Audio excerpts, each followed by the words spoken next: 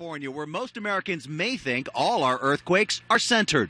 But California's San Andreas is just one fault zone. There are at least four active earthquake zones that cover this country, all of which seismologists say have had historic eruptions and each could have another catastrophic strike at any time. Earthquakes occur as large sequences of events, not just a main shock. New York, New Jersey, and Pennsylvania have the 70 mile long Ramapo Fault. These streaks are really all that's visible of the Ramapo Fault, and they continue all the way up this rock. It's one of the largest in the Northeast, and we're really just about an hour outside of New York.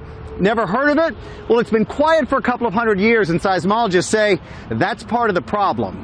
We know in the future at some point an earthquake is going to occur, but we don't really understand the rules of the game yet in this area. What we do know is the last major activity on the Ramapo Fault was a 5.2 centered in Brooklyn, New York in 1884. And if that same quake hit today, there are now 8 million residents of New York City. All could be affected by the Ramapo Fault's dangerous reach. One important fault is the one that crosses Manhattan from the Hudson River to the East River, more or less along 125th Street.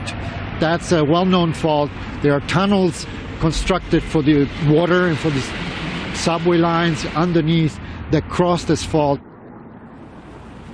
And of course, there are two other hotspots. One, a subsidence zone that's just off the Pacific Northwest coast. It's in the water, but it's pretty active all the time. And the granddaddy of them all is the San Andreas Fault. There are thousands of earthquakes there every year.